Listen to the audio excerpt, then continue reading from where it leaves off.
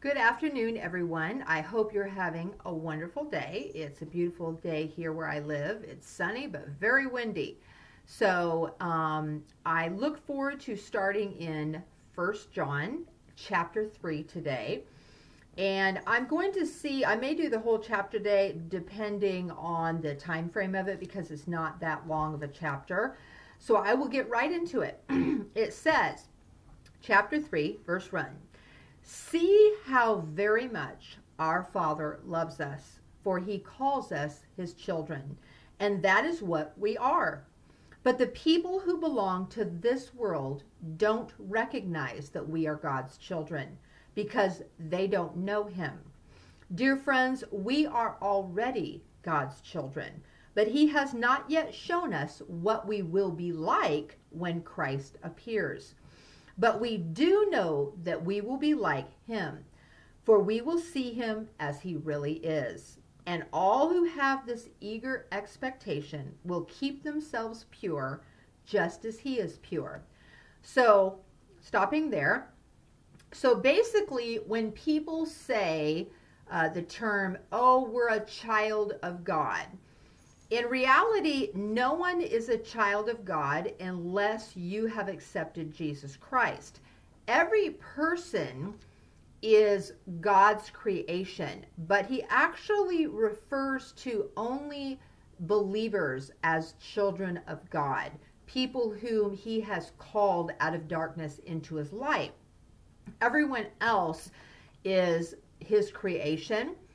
You know, they're his children in a sense that he created them, but it's a special thing to be called a child of God, as we are also called many other names that he has given us. So I think about that when I hear people, unbelievers say, we're all children of God. Well, we're not. We're only children of God if we have accepted Jesus Christ as our Savior, and He brings us into the family of God. So I want to get that point out. Secondly, it says, um, we don't know what we will be like, but we know that we will be like him when he appears. So we don't know exactly the type of body that we will take on. Um, obviously, it's a physical body because Christ was resurrected and was in a physical body, yet he still had the wounds that he showed his disciples, but he was glorified and he would appear instantly in a room. So there are some clues to what we'll be like, but we know that there will be no pain, there will be no more death, there will all the formal things will be passed away. We will have a glorified body. So that's something we can really look forward to. As a person with an autoimmune disease who has chronic pain, it's something that I really look forward to. My sister recently had passed on in October, and she also had a lot of chronic ailments and was in pain all the time. And I take comfort in knowing that my sister is uh, with Christ now.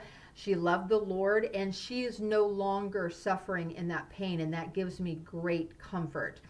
So I will continue on. It says, number in verse 4 everyone who sins is breaking God's law for all sin is contrary to the law of God. and you know that Jesus came to take away our sins, and there is no sin in him. Anyone who continues to live in him will not sin, but anyone who keeps on sinning does not know him or understand who he is. So this is not to say that we'll never sin because there's many other portions of the Bible that talks of us about us sinning as Christians. In fact, Paul had that fight and he says i i do what i want to do i don't do and what i you know do i don't want to do. So there's a struggle with us until we are made new again when jesus christ comes back or when we pass on into heaven. We are fully um, sanctified at that point. But right now we're going through a sanctification process so what this is talking about is not staying in sin. So there should be an obvious there should be a change. So Jesus said you will know them by their fruit. So when we accept Christ, he comes into our life, he cleanses us from all sin. He counts us as righteous because he is righteous and he has taken our uh, penalty for our sin, and we are positionally citizens of heaven, but we will still struggle with sin and temptation. That's why the Bible talks about temptation until we die. Um, Satan will test us or tempt us. Uh, God will test us and see how strong our faith is. So there will be struggles. This is talking about staying in our sin and never changing. Because there's people that we may have heard of or known that say, I'm saved, but they never change at all. There is no change. They may never talk about the Lord. They may never read their Bible. It was like they made a decision, but that was it, and there's no proof. And so uh, there absolutely needs to be a change showing that we are repenting of our sins and we're turning from it. And then it goes on to say, Dear children, don't let anyone deceive you about this. When people do what is right, it shows that they are righteous, even as Christ is righteous. But when people keep on sinning, it shows that they belong to the devil, who has been sinning since the beginning. But the Son of God came to destroy the works of the devil. Those who have been born into God's family do not make a practice of sinning because God's life is in them, His Holy Spirit. So they can't keep on sinning because they're children of God. So now we can tell who are children of God and who are children of the devil. Anyone who does not live righteously and does not love other believers does not belong to God. So that is, uh, you know, pretty, very succinct, kind of capitalizing on what I just kind of said, that don't let anyone deceive you. You know, when people do what's right, when they're changing, when they're giving up their sins, when they're recognizing there's areas that need to be handled, and they're repenting and they're asking God for his strength, it's showing that they are moving in the direction of understanding what is sin because some people may sin and not even know it and then after they become saved they read the bible and they oh i was sinning and then you know it may be a small sin or whatever but they um, should immediately correct it. And of course sometimes some things just take time and it's been such a maybe a chronic sin in our life that it's going to take time to break that. And uh, practice in repenting and practice in obedience.